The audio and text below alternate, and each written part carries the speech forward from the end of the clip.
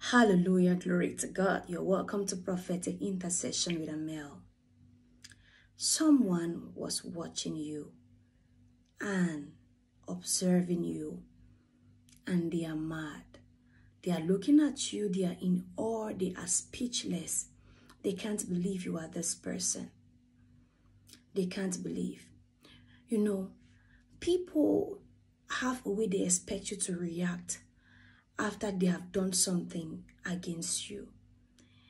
They have a way they are expecting you to react. So they might send someone just to tempt you, to test you, to see how you are going to react to that. And they are just watching you and they are on there, you know, they are speechless. They can't believe you're not reacting. You are not bothered. People actually step on your toes just to see what you do.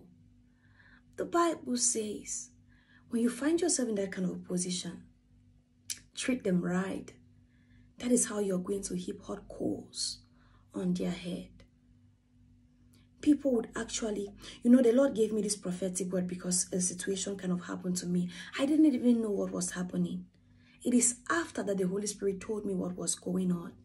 Someone was sent to me and to act like they are in need after I know how they have been treating me and what they have said, you know. So I just did, I did not even think, I just did what I was doing. And later when I got home, the Holy Spirit told me what was happening. And I was like, oh my God, really? I was just doing my thing. I was I was not pretending. I was just doing what I would do to any other person. It didn't cost me anything to do that anyways. So why would I not do it? It's good to do good. It doesn't matter. Someone is actually observing you to see if you how you are going to that is real Christianity, people. That is real Christianity. It's not a tooth for a tat. No. You do good even to the people that have done you evil. I always believe that God fights the battle of people who are like that. Vengeance is the Lord. If someone mistreats you and you are in a position to help, go ahead and help them.